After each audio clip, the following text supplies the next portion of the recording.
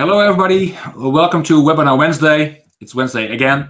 Uh, my name is uh, Martijn Lofvers. I'm Chief Trend Watcher of Supply Chain Media.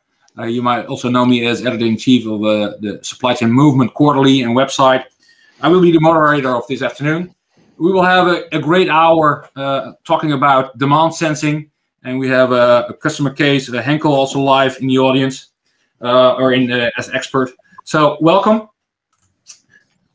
So uh, you see me on the left, Martijn Lofvers, uh, Chief Trend Watcher. I will be the, moderator. Um, in the middle, you see Jordan Raspin, Head of International Planning Steering at Henkel Laundry and Home Care. Uh, hi there, Jordan. Hi. Hi, Martin.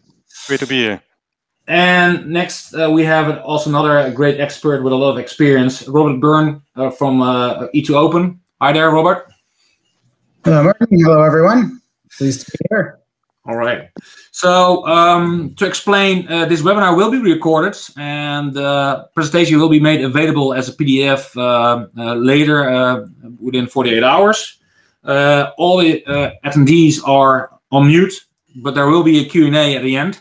but feel free to start ask questions right away. So you see the question mark on the right-hand side. So you can ask questions and um, even you can vote on questions. So if there's there if there are a lot of questions, uh, you know you can promote a, a, question. I would say, and if it's in line what we are discussing with uh, Jordan and Robert, I will uh, ask these questions uh, right away. So we keep it uh, very interactive. So um, we will talk about uh, demand sensing, and um, first, Robert, um, no, could you explain something about demand sensing? Uh, you have done a survey uh, uh, recently, and could you explain something about the results? Absolutely. So um, I think as, as probably most of you know, demand planning um, gives you sort of assumes history repeats itself and gives you kind of a smooth version of history. That works fine most of the time, but there's times when it doesn't, like this past year. So demand sensing is a way um, to reduce forecast error. We did a little survey on what people are using. Of course, most people have some kind of demand planning system. Everybody would like more accurate forecasts, and there has been a lot of disruption this year. So I don't think we're, we're really breaking any new ground on this survey. Um, but things have gotten significantly less accurate in the past year, with 86% of the people saying either less accurate or much less accurate. Uh, largest software as a service um, supply chain company. We have uh, more than a 200,000 trading partners on our network, which gives us access to a lot of very rich uh, data around logistics and so on. And we have a broad suite of supply chain solutions. Today, we'll be talking primarily around about demand sensing. And obviously, Henkel is, is one of our demand sensing customers. So they'll be giving you the, uh, the real scoop in a little bit. Yeah, but and if you look at the picture, you know um, what's uh, differentiating uh, E2Open from from others. You're also connecting to all kind of companies. So it's not only internally uh, uh, uh within a company that you are uh, have applications, but also across company. Isn't so?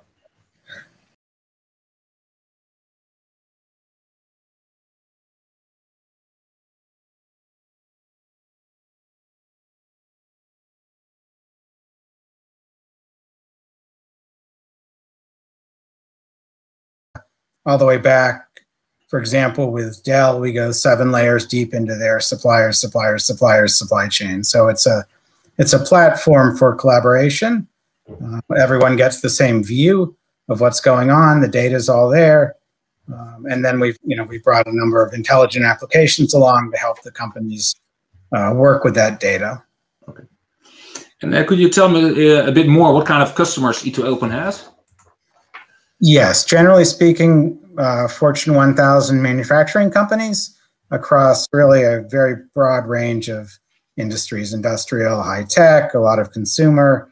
Um, we do have some transportation, and of course, uh, aerospace and defense. Uh, quite, quite a lot of companies, mostly manufacturers. Mm-hmm. Yeah, so um, I was actually running the company that introduced demand sensing back in 2002. So the idea behind demand sensing is, you know, most of the what, what you have in demand planning is mostly a moving average and some seasonal adjustment. there's not really a reflection of what's happening right now in the supply chain or what just happened.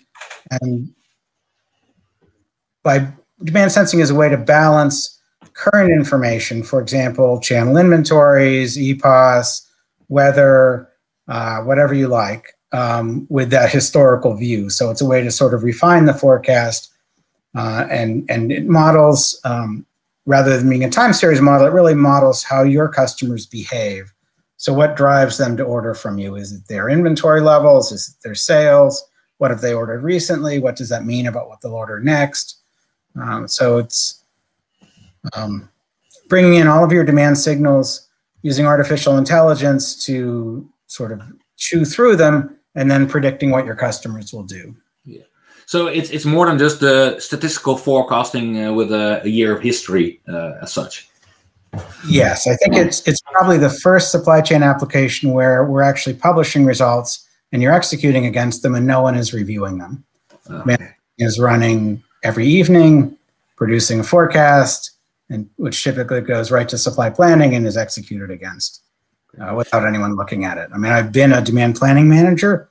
That does sound a little crazy if you're familiar with demand planning, that you would mm-hmm. forecast that isn't reviewed. Um, so we have to be very good, obviously, to make that work. Yeah. So you mentioned uh, briefly uh, AI. Uh, could you explain more about that? Yeah, of course, AI is a very common buzzword in the software industry these days, and I thought I'd talk about two of the kinds that we're using. So, supervised learning is one set of um, AI techniques. A good example outside supply chain would be, you know, you give the computer a thousand X-rays. Some have lung cancer, some don't. The computer learns to identify lung cancer without actually you having to tell it what you know, an infected lung looks like, right? So that's a very simple problem to solve. It's pretty much black or white. Do you or do you not have lung cancer? Um, we use it for forecasting. So you have a lot of information potentially in your supply chain, your customers' inventory levels, your customers' point of sale data. They may generate a forecast for you. Um, you have your own recent shipments, your own demand plan, you have orders. All of these have to be, these are all demand signals. They're all predictive to a greater or lesser degree, and they all need to be combined some way. So you could, for example, give the chart to your demand planner and say, okay, here's the information, what's my forecast? But this is the kind of problem a computer solves for you very effectively. And the answers can be different depending on your industry, depending on your item, depending on your customers, and also depending on how far out you're looking into the future. So our models are specific not only to day of the week, but also distance into the future. So you have quite a lot of models that are actually active. They get crunched through um, every evening. They get tuned every week. And we're using supervised learning because we know historically what the right answer was for the forecast, what actually sold. And so you're training the tool to predict what's sold based on all these different influences if you look at the graph, you see different kind of lines. Uh, so warehouse withdrawal. So how many kind of signals do you usually have with supervised learning in uh, demand sensing? Um, you know, it varies. I would say probably eight to 10, although we've had some customers. Um, Amazon, for example, makes a lot more data available, like revenues and pricing. You might have 20 or 30 different inputs. And you'll see that it really varies. Like, for example, what's predictive for something like diapers, maybe warehouse inf- level information. They're a very fast moving, high volume item. When you get to something like cosmetics, point of sale and store inventory, because you have 100 shades of lipstick, they're not all bought equally. So what's driving the reorders are which shades are selling, right? So it's it's hard to tell in advance, but the engine figures all that out for you. And uh, what about uh, unsupervised learning? So we do use unsupervised learning as well. A non-supply chain example would be, let's say you wanted to categorize recipes.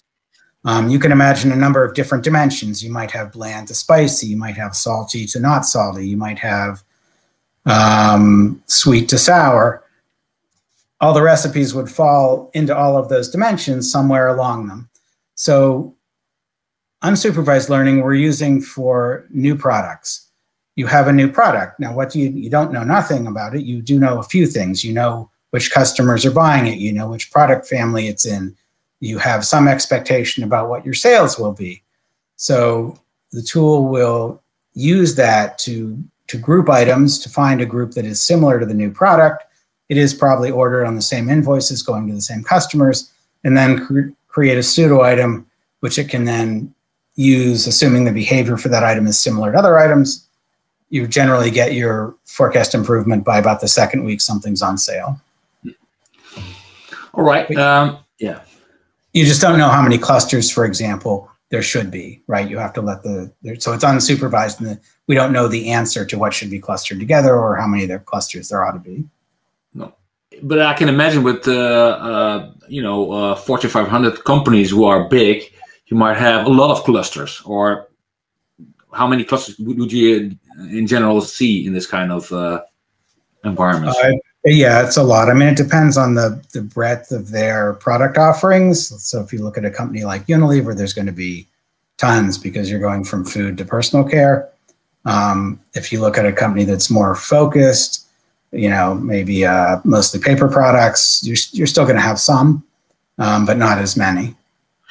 Would it make sense in the case of Unilever to, to take the whole company, or would you rather focus on a vertical uh, division?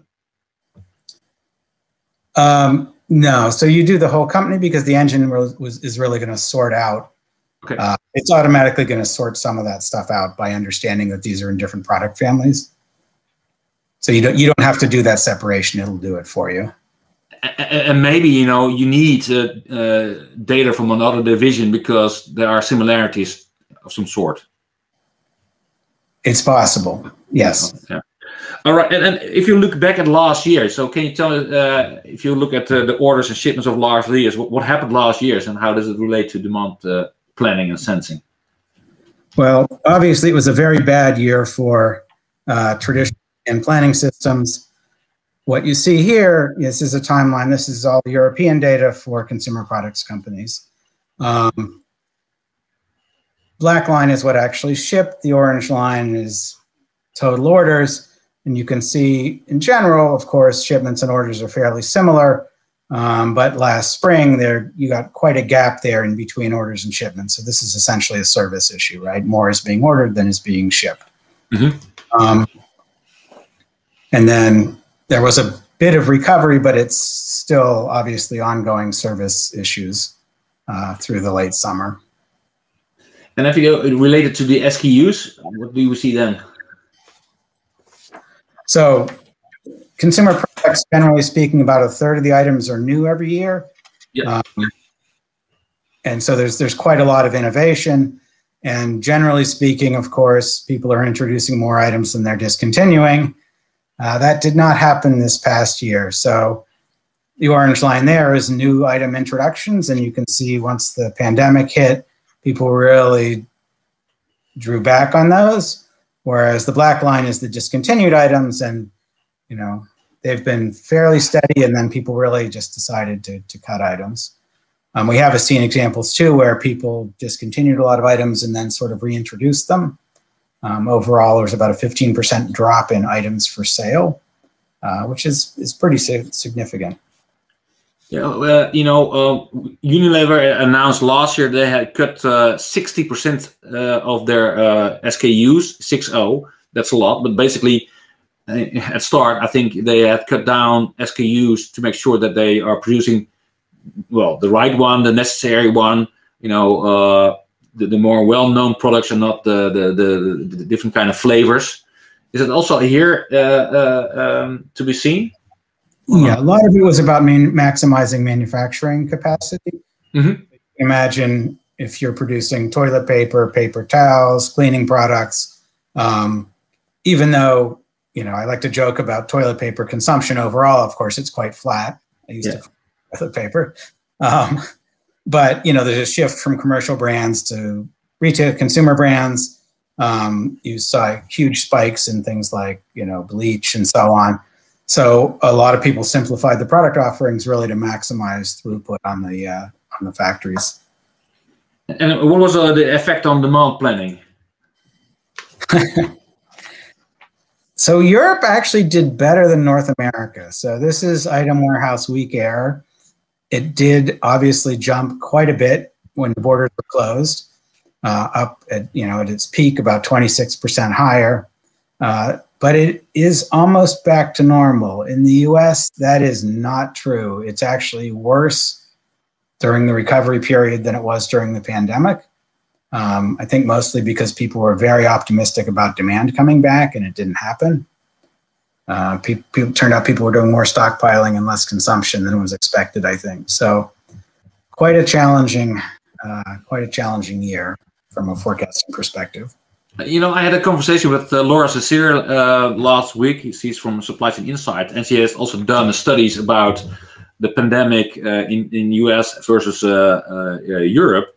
And she said, you know, what you said, you know, European companies were more well prepared because yeah, Europe already consists of different countries with different cultures and different kind of you know well, shutdowns, lockdowns, whatever uh, and and you know the U.S. companies weren't prepared for that because you know normally they would see uh, USA as one country, but uh, so they weren't prepared of local lockdowns and uh, changing demands uh, locally and that kind of stuff. Can you relate relate to that? Yeah, I would agree. Okay. Um, and and how could or did uh, demand sensing help in all this? so demand sensing well, of course, was doing a pretty good job pre-pandemic. This is it. Uh, it did take a little bit of a hit on accuracy during the lockdowns when the borders are closed, um, but then as it started learning about the new patterns, you know, it pretty much improved to where it had been before. Uh, so, of course, it's not that it has seen pandemics historically. It's really just looking at what, how customers are behaving. It's tweaking its models as it as it understands how. Uh, we saw both order frequency and order size change for the, the customers in our survey, um, and then it's uh, you know it's more or less back to normal. Okay. All right. Um, thanks for now, and uh, you know we'll, uh, we have questions later. But um, I would like to uh, uh, to welcome Jordan. Um, so Jordan, um, welcome. Uh, now we get to to the Henkel case, um, and would like uh, to ask you to to, to start. And uh, first, uh, we have an agenda here, but you know, first explain a bit about about Henkel, about your company, Jordan. Yeah, yeah. Let let me tell you first something about Henkel as a company. So Henkel is a Germany-based multinational company. We have our headquarters in in Düsseldorf for the business and for the supply chain in in Amsterdam. And you see here on the slide some of the key figures that characterize us as a company. And I will just pick out a few. So we make a turnover uh, slightly above 20 billion uh, euro. Uh, we operate our business with um, 52,000 um, employees worldwide, and we make our business with uh, 143 years of success behind our brands and technologies. Uh, but maybe an interesting point also here in this audience is that Henkel is also a leader in sustainability, and we have actually uh, recently updated uh, our ambition here uh, to become a climate positive company uh, by 2040. And I think a good planning also contributes to this piece. All right. Um, and I know that uh, Henkel consists of three divisions, so uh, maybe you can explain a bit more about that. Indeed. So we have a well diversified portfolio across uh, three strategic business units. Approximately 50% of our sales is realized by our colleagues in the adhesives technology business. So they deliver all kind of sealants and surface technology solutions to various industries. And you see a picture of the um, aerospace industry, but they are active um, across the globe in, in many different areas. And then the second pillar of our business is the CPG space, where we are active in the home and personal care with our beauty care division and the laundry and home care division. Uh, beauty care has also a professional hair business uh, activity, uh, and I am myself uh, working in the laundry division. Right. And I know adhesive also are producing Pattex, so we have both adhesives for the automotive uh, B2B, but also uh, uh, adhesives for the business to consumer market. So that yeah, uh, do it yourself, and then indeed as well uh, a little bit uh, in in retail. And you know, we just discussed about Unilever. Are you also looking at the demand signals from your other divisions, or, or, or don't you? No, not not at this stage. Okay, right. All right. Let's talk about demand sensing at the laundry and home care division. Yeah. So let's say first part in the agenda is, is looking to uh, why we have adopted demand sensing. So I give you a little bit of background, and then we go in the in the second part more to what has happened uh, during during the COVID nineteen pandemic uh, last year, and especially which insights we have uh, generated from that. And then I will end uh, the presentation going a little bit deeper into our learnings around change management. So first, you know, what is the real challenge uh, in demand planning? Well, so actually, and I think this picture, I, I borrowed that uh, actually from uh, a vendor uh, active in next gen uh, planning uh, capabilities. And for me, it says it all because mm-hmm. basically in this picture, you see that the future is often very different than the past. And that means that traditional planning systems, which are based on statistical models uh, using corrected sales history, will by definition not uh, deliver the desired result. Uh, so you will definitely achieve something with that, but if you want to reach superior results, you need to look to many more uh, demand drivers that are influencing uh, your sales. Uh, so that is a starting point. So, so first question, you know, to you now. What is your personal background? you know, what did you study? Did you study operation research or that kind of stuff? Well, I, uh, I studied um, supply chain management and especially in relationship uh, to how, let's say, companies are not, um, let's say, competing individually, but with their entire network uh, of suppliers and uh, all kind of partners that are together in an ecosystem. But we were trained in demand planning in, in your uh, university yeah, days? I started in demand planning. So let's say my heart is uh, still very much in, in demand planning. I'm, I'm passionate about uh, this topic, yes. Okay, right. So, um, so but, but what is driving demand in uh, your company, in your division? Well, I think in the in in the in the, in the following picture you see, uh, and that can be universally applied to, to many companies, and of course not all those influencing factors uh, are um, relevant to to your business. In our business, when I talk about the CPG space, it's especially about NPIs, new product introductions, uh, with, with all the innovations we bring to the market to uh, generate additional sales. And it's about promotions, building traffics in the store. So if you want to build an accurate forecast, you need to um, collect information around that. And with today's technology, cloud computing, together with AI and machine learning, on, on which Robert elaborated a little bit more in, in, in the theoretical aspect, uh, it is possible to collect, cleanse, and use that information. And that information today is often already available within the company. Uh, it's just uh, sitting in, in, in, Excel sheets and uh, is not finding the way to the demand planner, or the demand planner does not have the tool support in order to, let's say, leverage that in building his or her forecast. So it's about identifying these uh, leading indicators of demand and then to use the technology uh, in order to, to boost the accuracy of your forecast. So, how many SKUs does your division have, and how many uh, product introductions? What is the percentage of product introduction every year? In terms of uh, product introduction every year, I will give, let's say, an average number. It's 30 to 40% of our business is, is coming from innovations. That means of products that have been introduced into the market less than uh, 12 months ago. And so hmm. we have a high, uh, let's say, rotation of, of SKUs uh, and, and especially also with the promotional part of our business, uh, the life cycle of an average SKU is around uh, three to four months. Uh, so that is also one of the complexities uh, that our um, demand planners have to manage. I think globally, if you take everything, then uh, it's around 10,000 SKUs. Hmm, wow. Um, you see here purple leading indicators. Do you have also a priority or, or a weighting system of these leading indicators? So it, today we are not using all of them, um, but let's say point of sales data is uh, something which we put uh, on top of orders and shipments, uh, and and of course all kind of master data into the uh, current uh, short-term demand sensing solution. We we are looking to further expand that um, and and to explore uh, more data. So we are also working together with with the colleagues from sales uh, to to see what kind of information is available also on competition, uh, because a lot of um, influence also comes from what the competition is doing uh, before the week that you are in, in promotion or uh, the listings at, the, at a certain customer that uh, influences, of course, your, your sell out. Yeah.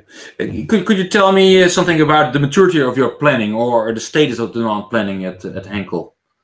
Yeah, so we made that uh, assessment uh, back in 2018. So there is a small mistake on, on the chart. Today should be 2018, 2019. Mm-hmm. Um, and actually, we, we have uh, implemented globally uh, APO as a, as a demand planning uh, solution. Uh, and we are using statistical methods and we are doing some demand segmentation. So it's not anymore the crystal ball that is used, but to be honest, still a lot of planning was done in, in Excel sheets uh, and then finally fed into APO. And we believe that the technology is out there uh, today and, and, and that uh, if you, let's say, uh, leverage those leading indicators of demand, that you can really make a step change in accuracy. That is one element. The second element, why we uh, partnered with E2Open uh, on uh, implementing a demand sensing solution, is that even in the more mature markets, we saw that when we reach an accuracy of 65, 70%, that is on a monthly level.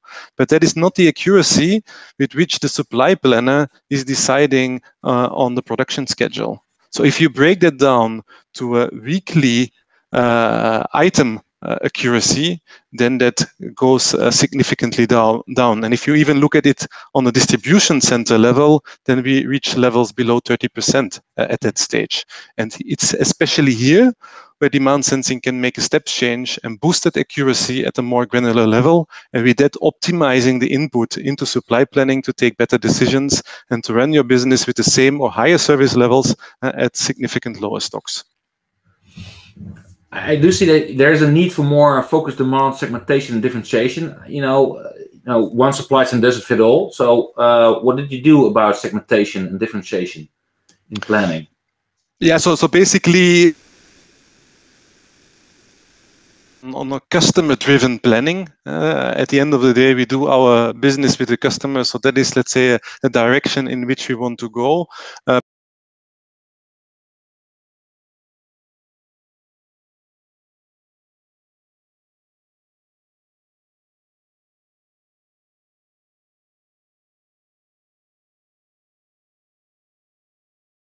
I believe that to build a, a strong uh, forecast, you need uh, to have an holistic approach and also look to, to other aspects. And, and I come uh, back on that uh, in, in a minute. Yeah, eh, but do you already have in your planning for the longer term uh, using more data, big data, for uh, more advancement in planning? I see.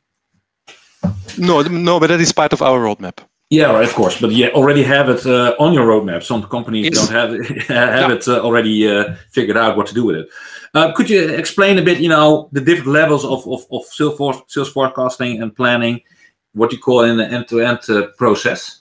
Yes, I think that's uh, also important to, to clarify yeah? because often when, when we talk about demand sensing, then then people uh, think that it is replacing demand planning. That is not the case. It comes on top of your demand planning, and it is you can basically see it as an uh, accuracy booster uh, in simple words.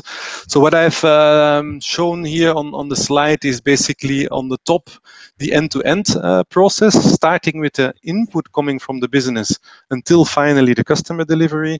And now we are zooming in into what I call the three-step forecasting process. And we are currently building plans and roadmaps in each of that area. I will focus uh, in the rest of the presentation on the demand sensing piece, but let me also elaborate a little bit on, on the first two points. So one is the input coming from marketing and, and sales.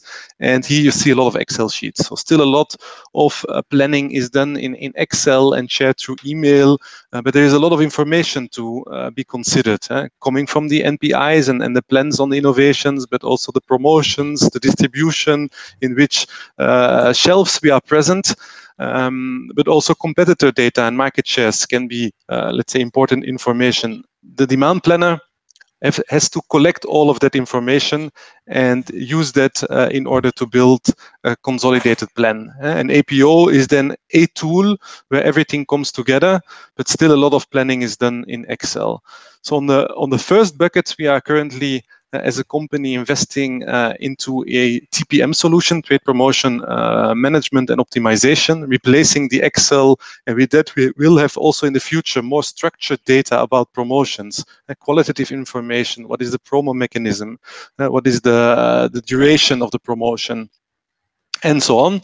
Um, and in the let's say second uh, bucket, um, we are uh, currently building our roadmap to move from APO to what we call next gen uh, planning capabilities, a new platform, cloud based, uh, where all these uh, uh, possibilities with big data analytics um, are, are, possible and then a further automation of, of planning.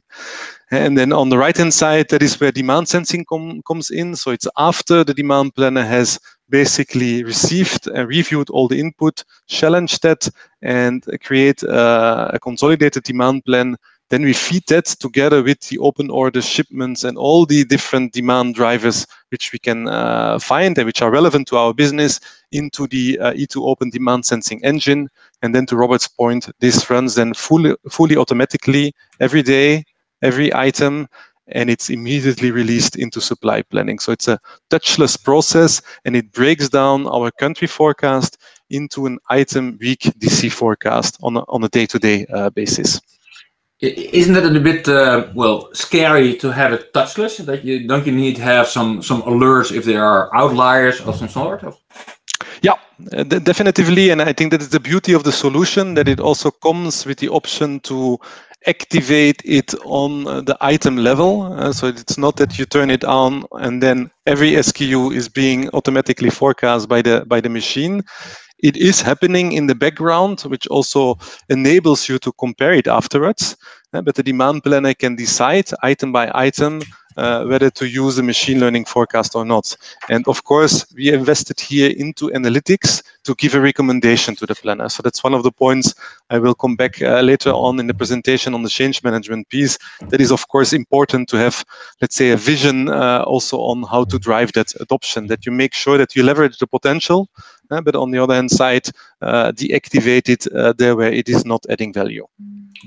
Uh, um, Robert uh, is uh, was referring to COVID nineteen and what what it did for the supply chain and demand planning. So maybe we should talk about Henkel, what it do, did for you as a company. Yeah, exactly, because indeed COVID nineteen came across our path in the, in the middle of the implementation, uh, basically. Uh, so that has slowed us down a little bit. But on the other hand side, I think it has also generated very important insights, which we can now leverage um, moving forward in, in, into the further rollout. And uh, I will show you in a minute a, a, picture to, to explain that. But before we go uh, to that piece, um, so that is the status today of our rollout. We did a successful pilot end of 2018 and then we decided to um, roll that uh, out across the globe in three different phases. And you see a little bit uh, the territories that we are covering. So phase one is about um, the main markets in Europe and US. Phase two, we uh, complete the rollout in Europe, and actually right now we are in the UAT phase and testing phase together with the colleagues in Russia, Turkey, APAC, and Latin America to complete the global uh, rollout in the implementation phase, did it uh, you know impact to implement uh, this and to to to continue the rollout, or could yeah, the challenge it, was correct. The challenge was twofold. So on the one hand side, um, th th that is of course a change which you uh, introduce in your in your planning landscape, and yeah, we are used to uh, make workshops and, and, and training on site. Uh, so now we had to do that remotely, and it's a quite technical topic. So it's not so straightforward to do that via uh, Zoom or team meetings. But yeah, we found here an approach also using some interactivity uh, with tools like Mentimeter to, let's say, break a little bit uh, the longer duration of the meetings and, and, and to get also the, the connection with the audience. So that was one challenge. The other challenge is that in the countries which were live, they have been disrupted. Uh, mm. And that is uh, basically what I will show now um, what has happened, what we have learned from that, and then especially what we decided um, in, in, in the further implementation uh, based on that, because it actually has shown a tremendous uh, potential. Yeah, before we get there, you know, you also have implemented Tableau as a, as a BI tool, a visualization tool.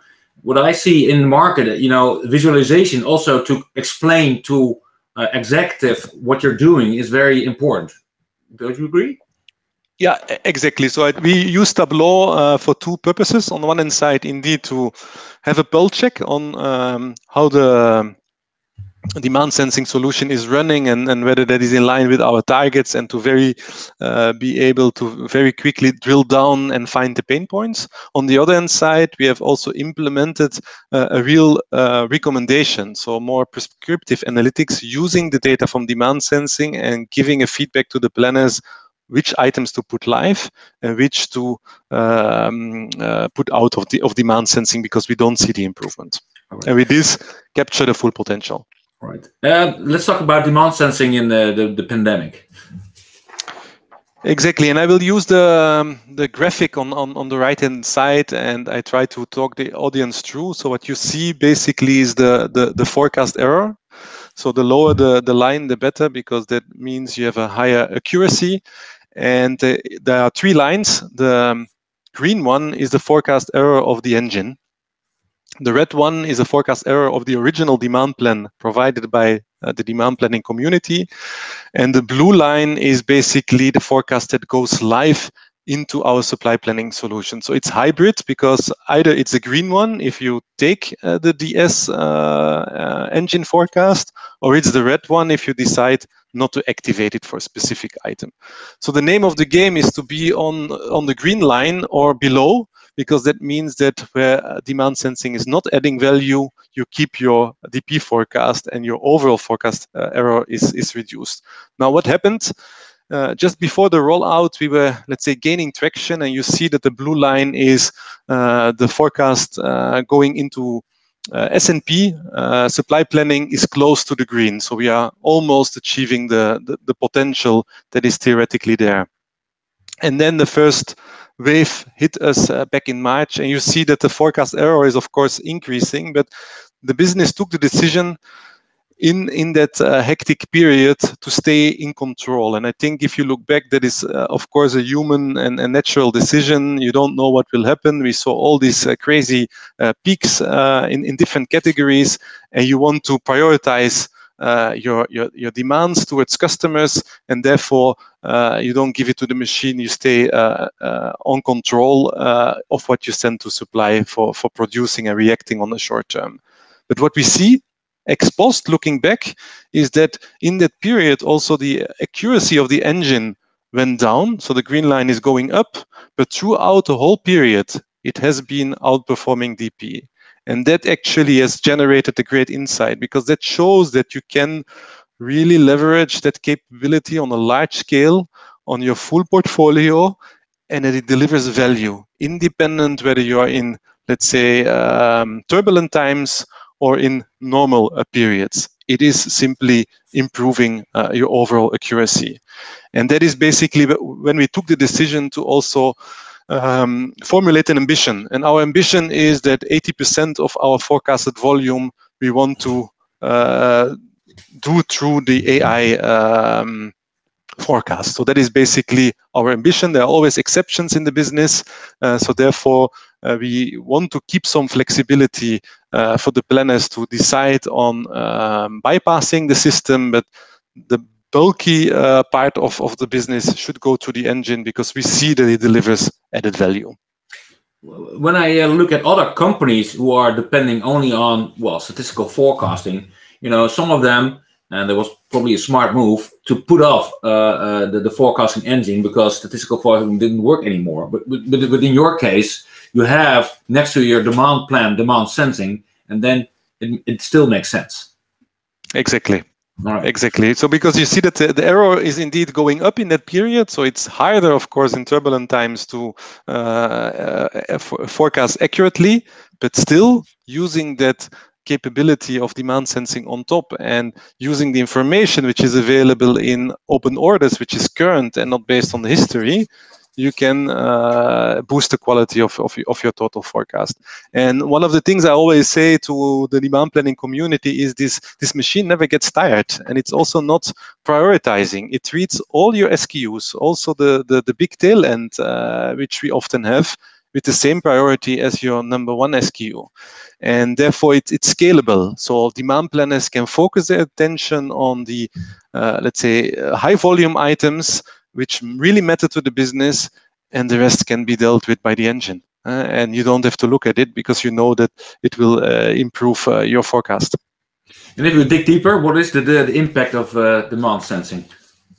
Well, uh, yeah, you've seen, let's say, the development of the forecast error. What I have shown here now on the left-hand side is our forecast accuracy measured in, in weekly buckets, and it's a snapshot taken four weeks in advance. You see in the in the middle of the graph that it goes down, and that uh, also the heat map is getting reddish. So that was in the middle of COVID, uh, but afterwards you see a nice uh, recovery and that is uh, supported by the decision to go towards this 80% volume ambition uh, of uh, putting items on demand sensing. And if you look back then uh, more of a longer period, then, then we see that pre-COVID in 2019, that accuracy for this uh, scope of the phase one countries was around 40. And today, post-COVID, using DS to the full extent, uh, we are at 50%. Our ambition is 60% and higher but nevertheless, the 10 percentage point is a, is a significant improvement. Yeah.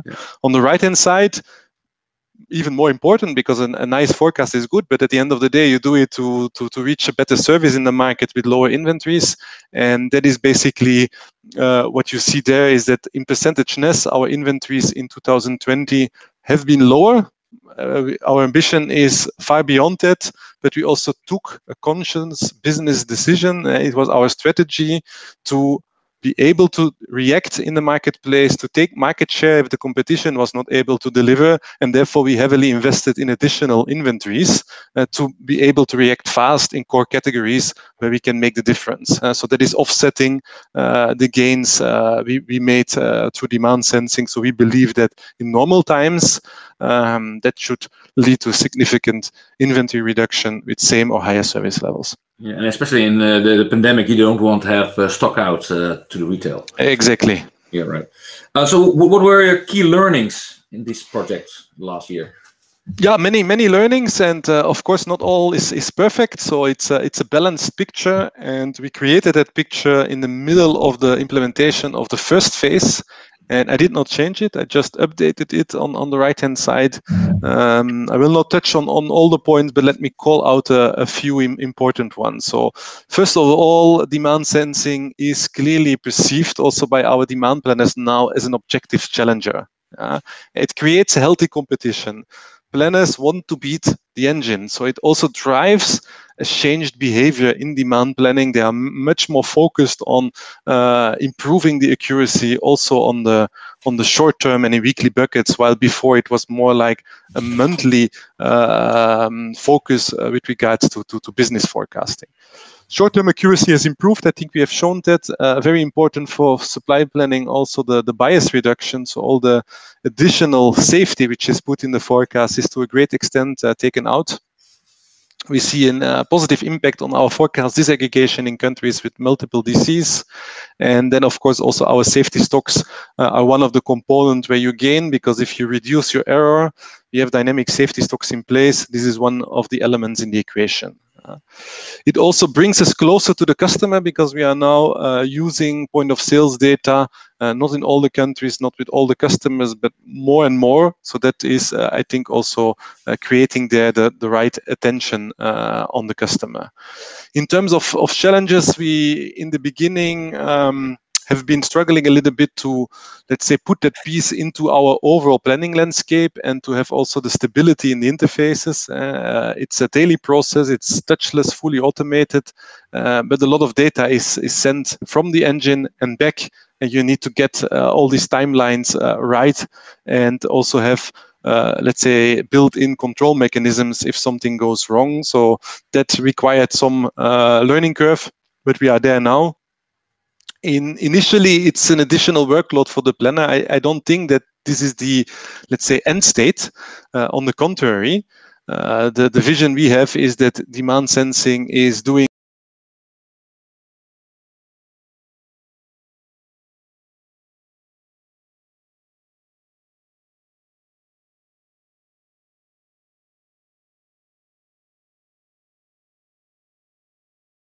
uh, and they need to get familiar with that. The analytics piece here is very important, uh, and we did not have that at the go live, so that was uh, an important learning for us, which we are now uh, benefiting from in, in, in the coming phases. Yeah. I, can imagine that, that the activities of a demand planner is shifting. You know, uh, before uh, this implementation, doing a lot of manual uh, planning or adjust planning, whereas now with, with the uh, automated uh, planning with demand sensing, yeah, he or she has more time doing uh, more, you know, effort in looking at into the the, the data go, get, getting into demand sensing engine. Right or not? Yeah. Um, maybe we talk about uh, change management and uh, the transformation part. So we get to the, the, final part of your presentation, Jordan, and then we have uh, time for questions. Jordan? You're missing the connection.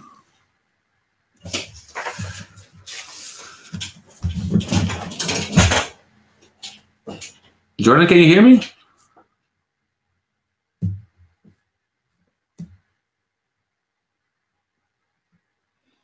Uh, Robert, maybe you can step in. What you see as a as an expert on demand sensing, uh, what what is necessary to to uh, make this work?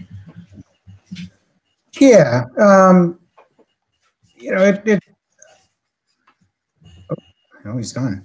Um, sorry about that. So, uh, yeah, change management. You know, as much as it is, does it does uh, create some fear in the demand planners that it might do something crazy and they're going to get blamed for it and they lose control over the forecast. So it's, it's sort of important to for leadership to talk to. You know, we're doing this for a business reason, right? Connected somehow. Yeah. Oh, you you're back. Okay. Yes. Yeah, Robert was stepping in, but maybe uh, you uh, can uh, elaborate uh, about the lessons uh, learned uh, on change management.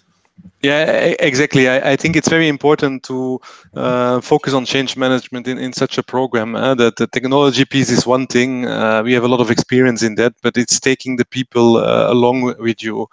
And uh, we we realize that um, often in a country, let's say in our situation, we have one or two demand planners, and they are the face to the business. So in case the the market is not served. They are in the front line. Eh? They are under pressure of the local GM. So we wanted to also make sure that they have and feel the support from the local management team, and that's why we made a, a, a country roadshow so we went into the excoms of the, the, the, the, countries in, in the first phase to explain the project, why we are doing that, how we are creating value for the business, and also how other functions in marketing and sales can contribute to the success. And with this, let's say, get the full support locally for, for the demand planners. Secondly, and you touched upon that, uh, I think earlier before the, the connection uh, broke, Martijn, is that uh, on the right hand side, we try to anticipate and address concerns. And what I realized um, in my uh, visits into the countries is that the same questions are coming back all the time. Uh, so you, you just need to answer 10, 15 questions and to put them uh, together in a document and to explain uh, that uh, to the people, I think is important. And then uh, what I put here in bold, focus on the new opportunities. Uh, there is uh, the, the, role of the demand planner, from my point of view, is only getting more important. Uh, the demand sensing is a capability on top, which will help them on the short term uh, to further improve the accuracy and that time which, which is released by that, they can invest in other value adding tasks uh, in the S&OP process, engaging with the business. And I think that has to be part of the change story uh, when you roll out that, that piece. I was also wondering, you know, uh, regarding change, change management, how did you know that your planners were uh, up to this whole implementation, that they were ready and, uh, you know, that if they would embrace it or not? I think yeah, you, you can never let's say look in, in into the head of people, but uh, talking helps and, and, and also creating a, a trustful atmosphere that that uh, critical uh, voices can also and concerns can be can be uh, ventilated. Yeah, so that there are no. Um, we always say. Um, early bad news is good news because from that you can you can learn and you can address that. Uh, and we might also uh, not see things on, on headquarter level. So that the knowledge in the markets is extremely important. They know their business very well, and to engage them from the start in the project and to show them uh, how that will influence their their life, I think is important, and and and especially to give them the reassurance that their role is not going away. Uh, we are not replacing the, the role of the demand planner. We are building a capability on top to boost our accuracy. And did you also appoint or uh, uh, find for local ambassadors for this whole project to, to make sure that they could also express what you have been telling about this whole project to roll it out? Yeah, so it, it depends a little bit on the setup. We have the, the bigger countries have uh, have bigger demand planning teams, and then you have also local key user in the country. Uh, but besides that, we have um, regional end-to-end planners in our organization that make the connection between the local demand uh, planners and the central supply planning function, and they play a key role because they have a let's say in the region a span of control which is manageable. They can go more into the details and also support them uh, in, in the implementation. And they are indeed serving as, as experts within the market, uh, spreading uh, the voice, uh, but also after the, the, the, project implementation on the day to day, they can support the countries a lot while the global team is then moving to the next phase. All right. Um, before we get to the, the Q&A, uh, could you uh, tell us about uh, the lessons learned on the change management uh, journey? Yeah, I think some of those we, we already touched. Um, of course, it's uh, uh, always the fear of the black box is there. So, uh, are people trusting the, the result of the engine? And I think there are two uh, elements um, which you can think about in a, in a strategy to, to mitigate it. First of all, important is that the top management is behind. And I think the fact that we have now clearly formulated that ambition that we want to drive up to 80% of our forecast with machine learning techniques is a clear signal towards the organization where we want to go. And we are not discussing the uh, anymore that we are doing that. Uh, we are discussing on the concrete solutions that we need to bring in order to make that work. Uh, but the goal, the vision is there. Secondly, trust always comes with uh, showing the results. And what we have uh, done here is that we, um, during the UAT, we took the countries through the results of the historic modeling because you train the, the algorithms based on past data and you can show them how this uh, the system reacted in in, uh, in in the past to specific events. So if we go now to our countries in phase three, we can actually show them what happened during the pandemic. And with this also generate trust. Finally, we are always uh, going live first with a parallel run. That means that the E2Open engine is generating a live forecast every day, but we are not yet feeding that into supply. Uh, so planners have a transition period in which they can, uh, let's say, look at the results, compare that with their own forecast, and with this we drive uh, trust. Uh, second point is about, let's say, avoiding the easy opt out eh, because I mentioned this uh, this this this option that you can also deactivate uh, the item. And the risk is that after the project implementation uh, and maybe also with changes in the organization uh, that gets uh, forgotten over over time and you end up with a much lower volume. So I think to monitor that and to have a, a framework in place where you measure uh, the performance and also the not captured benefits. Uh, we are always comparing the pure engine forecast with what is released to supply planning. And as long as we are not better than the pure engine forecast, that means that there is still potential left. Uh, and, and then also to work on concrete action plans to, to get it implemented. Third point is about uh, where do you um, make the people accountable for? Uh, of course, planners, uh, from my point of view, cannot be responsible for what finally comes out of the engine because there is a part which they cannot control. So we are still measuring demand planners based on their input. So their demand forecast, which goes into the engine, is the, the leading KPI for them. And they have to focus on making the best possible plan with the information they have and then uh, DS comes on top uh, to boost further the accuracy. And last but not least, um, yeah, you need also to think about uh, the type of, of planners that you need. I think that is in general with the technology uh, development uh, evolving a, a, lot, and and probably uh, the type of planners in the future you will have different kind of capabilities in a team, the more technical experts that are able to uh, interpret data, build algorithms, and um, do the analytics. But you also need uh, the people that uh, yeah can have storytelling uh, capabilities and can engage with the business and explain something very complex in simple words. Uh, so that are basically, let's say, the key uh, learnings uh, from from the change management piece. And yeah, there are definitely many more. So we are also learning and improving on a day by day basis. But that is something I, I wanted to share today. Okay, thanks a lot. Um, now we have uh, time for Q and A. Um, so we have five minutes left for uh, questions. So uh, feel free to ask your questions. You see the question mark in your uh, uh, panel in your screen to the right, and you can also um, uh, vote for questions. And after this five minutes, we have also 30 minutes. We can go into the lounge and you can speak to Robert, Jordan, and me directly into in the lounge at the at tables. But first, um, um, um, uh, one of the you know uh, the most favorite question is: Could you elaborate uh, on the differences between demand planning versus sensing, and how sensing complements planning? So maybe you can elaborate a bit more. Maybe it's to start with Jordan. So what does uh, demand sensing add to demand planning? Are and are they done by different people?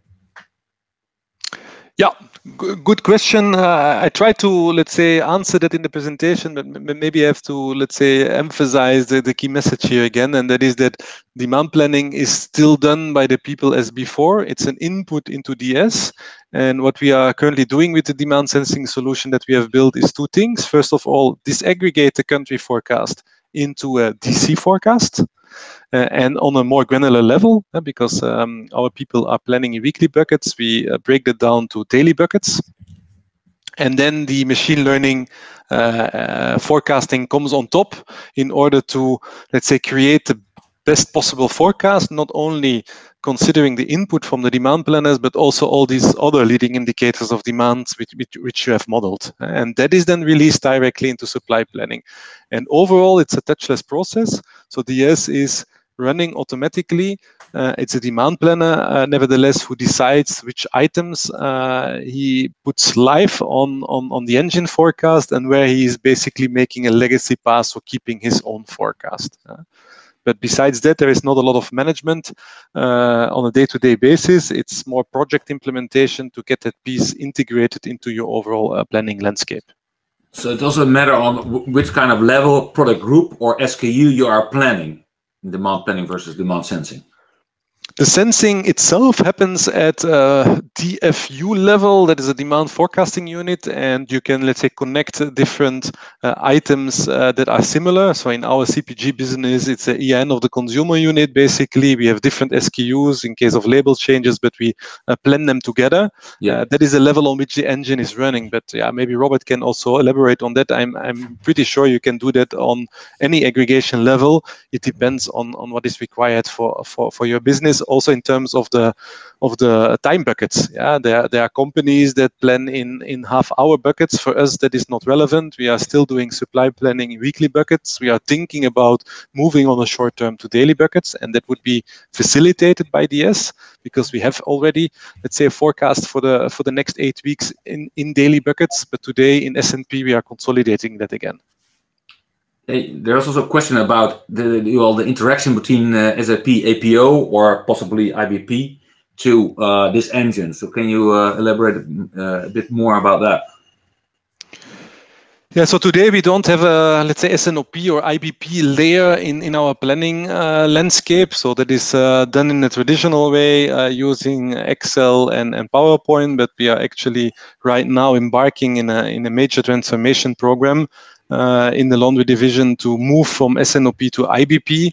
Uh, and then we will, let's say, also reevaluate our entire system landscape, moving from, from SAP APO for demand and supply planning to one of the next gen uh, players can be SAP IBP, but there are many others out there. So that is something that we will, uh, let's say, uh, evaluate in the coming uh, weeks and, and, and, months.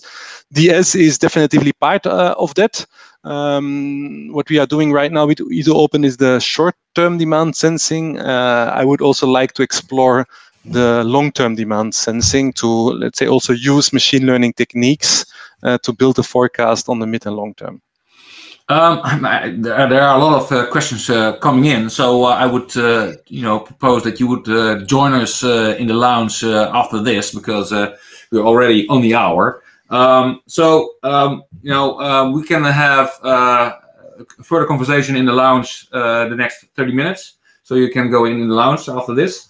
Um, So there's more stuff from E2Open. Uh, you know, Robert has explained a lot, but uh, there are a lot of uh, interesting white papers explaining a lot. And uh, you see here the links uh, of uh, all these white papers. So, you know, when you get the PDF, there's also a link to these white papers and more stuff. Um, before we wrap up, next week we have another webinar, webinar on, on Wednesday. We'll talk about connected planning for uh, COVID-19 vaccine distribution. Uh, totally different uh, product, but also related to supply chain planning, but a, totally different way. And um, before we uh, go into the lounge, uh, Robert, uh, thank you for joining us and for explaining what demand sensing is. Thank you for having us. Yeah. Do you, do you have a final remark for the audience before we go into the lounge? I would just say, I, you know, I think there's still an awful lot of companies that have not explored it. So you know, go out there and give it a try. Look at who's using it. Look at the installed base. Okay. Better forecasts help everybody. Yes, yes, absolutely. Uh, Jordan, uh, thanks a lot for your uh, presentation. What is real like within Henkel, uh, the, the, the, laundry and home care business and demand sensing. Do you have a final recommendation for the audience before we go into the launch? Yes, I think it's uh, very exciting to, to be in planning. There's a lot of things happening. Uh, new technology is uh, breaking through. I think we are talking since many years about AI and ML, but it gets now more really into uh, concrete solutions. And for us, this is the start of a journey. And I can only recommend, uh, like Robert said, to, to get started and, and to leverage that capability because indeed a better forecast helps to better steer your business. Well, thanks a lot uh, to the audience. Thank you for uh, for watching and uh, participating, and thank you for all the questions.